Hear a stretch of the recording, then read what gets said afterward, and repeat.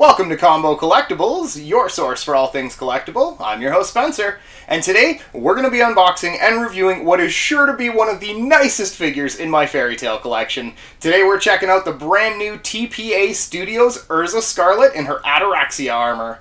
Uh, now, if you guys didn't notice, we had to get a bit of a different setup for today. Uh, we got a little bit of a bigger table, and we had to back the camera way up uh, because this package is enormous and it would not fit in my normal setup. Uh, I pre-ordered this from the Fanatic Anime store last year when they went on pre-order.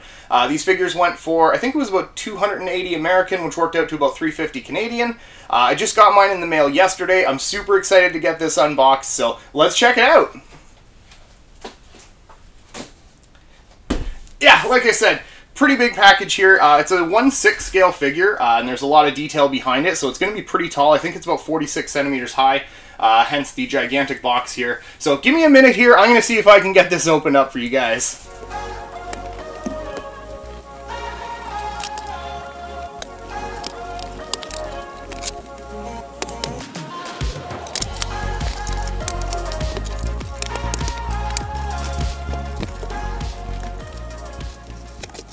Alright guys, there we have it. Sorry that took a minute. Uh, that was really in there. It was a very snug box.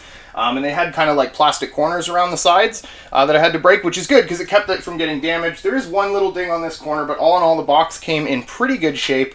Uh, so let's check out the artwork here because this is actually really cool looking. Um, so on the front, it looks like we've got some uh, actual pictures from the manga or clips from the anime, so that's really cool. And then on the back here, uh, there's actually some artwork of Erza in her Ataraxia armor, which is awesome. Love that. And TPA Studios on the top. This is definitely the biggest figure box I think I've ever had in my collection. Uh, this is enormous. So I'm guessing this is going to take a couple minutes to get open and assembled, but I can't wait to dive in here, so let's check her out.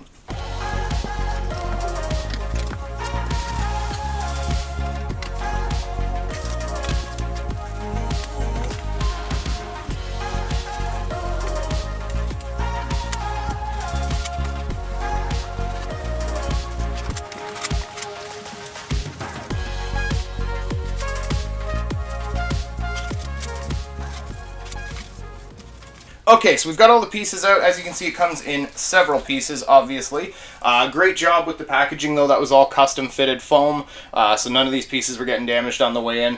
Uh, so let's get started putting this together here. Uh, this is the base piece here, which is actually the heaviest piece. That's very heavy, actually. So there we have the base piece. There's a lot of nice scenery on this one as well. Um, oh, cool. And uh, yeah, I heard there was something on the bottom here, so we've actually got a nice image of Erza Scarlet on the bottom of the base there. That is really cool. And the other piece I want to talk about right before we put this all together here is there is a coin here as well. If I can get it open, there we go. Okay, so there is a coin here that says Titania Erza Scarlet, has a nice picture of her on TPA Studios on the back. Uh, and this is actually a numbered piece as well. Uh, so I got number 104 of 288. Uh, so that is really cool. This is actually my first statue in my collection that is a numbered limited piece that came with something like this. So I'm very excited. That is really cool. There's only 288 of these, and I got number 104. I am so happy. Uh, now, I'm going to take a minute here. We're probably going to speed this footage up a little bit because I feel like I'm going to be here a while. I'm going to see if I can get this figure assembled, and we'll be right back.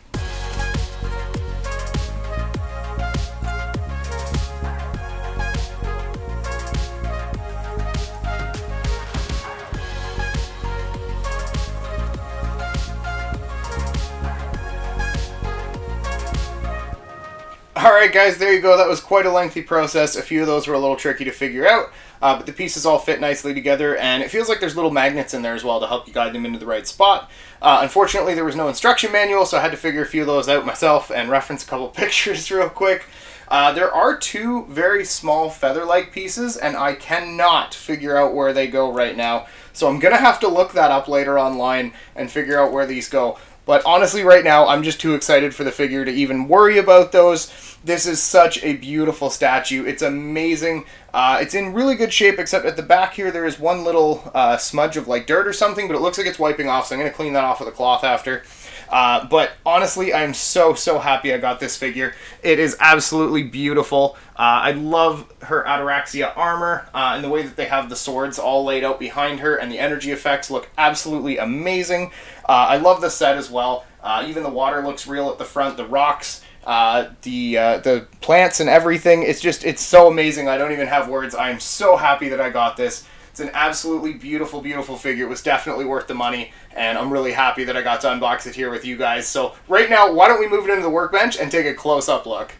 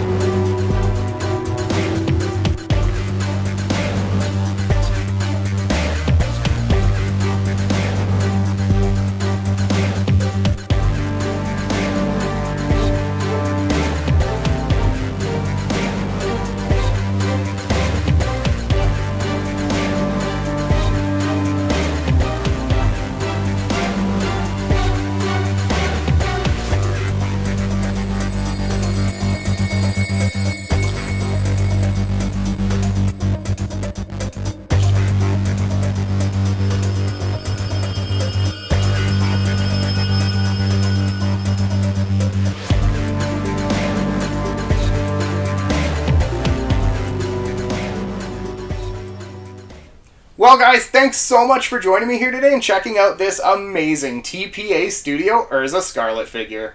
Uh, like I said, I'm very happy with the detail on this statue. And, oh, hey, speaking of detail, did you guys notice on the close-ups? I figured out where those little feathers went. It was part of her hairpiece. So I'm glad I got that on there in time for us to look at it.